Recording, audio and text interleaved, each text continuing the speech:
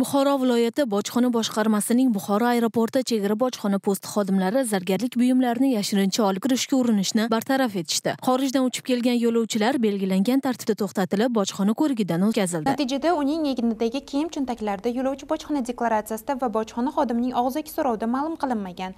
Besh dona zargarlik buyumlari jumladan bilaguzuk zanjir uzuk va ikki dona qo'l soati borligi aniqlandi.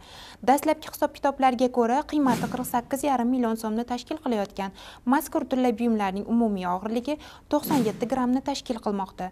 Vaholanki jismoniy shaxslarga 65 grammgacha og'irlikdagi zargarlik buyumlarini bojxona to'lovlarisiz olib kirishga ruxsat etiladi. Navbatdagi holat buxoro viloyati bojxona boshqarmasining olot chegara bojxona postida aniqlandi. Bu gal post xodimlari yirik miqdordagi tovar moddiy boyliklarning noqonuniy tarzda olib kirishga chek qo'yishdi. Respublikamizdagi mas'uliyati cheklangan jamiyatlardan birining nomiga xorijdan bitta partiyada tovarlar olib kelayotgan beshta yuk avtotransport vositasi to'xtatilib belgilangan tartibda ko'zdan kechirildi.